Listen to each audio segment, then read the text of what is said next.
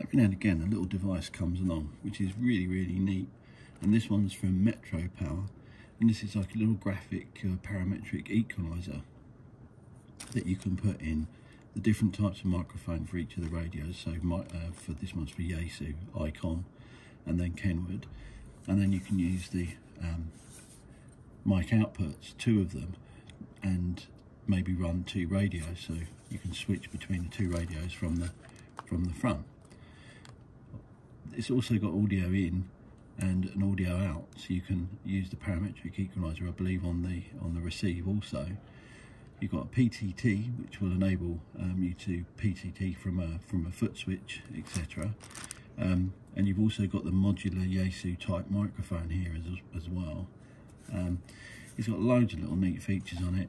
You've got looks like here a compressor or noise uh, gate um, uh, type uh, mixer here and then you've also got reverb and delay. Um, how useful that will be I, I, really don't know in ham radio but it's there nonetheless. Um, on the back here you've also got um, some outputs here. You've got uh, audio in um, four, plus 48 um, volt microphone output via a 3.5 headphones or powered speaker You've also got a mic input there, which is a standard dynamic microphone, and then obviously the 12 volts in, and then here you've actually got the PTT on there. Um, and that's pretty much about it, but really nice bit of kit. Um, it does come with a little, little back stand, stand thing here, which you just take these two screws out, and then that will just screw to, to that.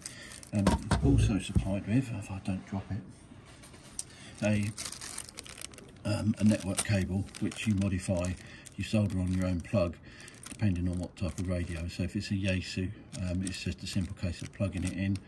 Um, and if you need to uh, modify it for a, for an 8 pin round, then all you need to do is cut one of the plugs off and solder the, um, the 8 pin uh, round plug on. So there you go, nice bit of kit from Metro Power. Very nice.